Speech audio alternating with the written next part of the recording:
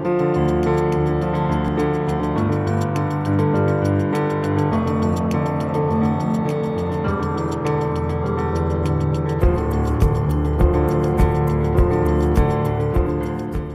Feyzal'a hoş geldiniz.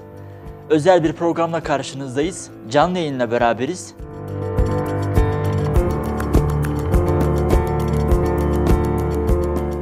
Eğer siz küçük kooperatifler kurup gidip yine ulusal süt firmalarına ve fabrikalarına bu sütü satmaya kalkarsanız çuvallarsınız, başarılı olamazsınız. Kesinlikle çiftçinin mazotunun hiçbir şekilde ÖTV, KDV gibi vergilendirilmemesi gerekiyor. Bütün Türkiye'deki süt ve et üreten ve damızlık hayvan üreten çiftçilerin sesi olmaya karar verdik.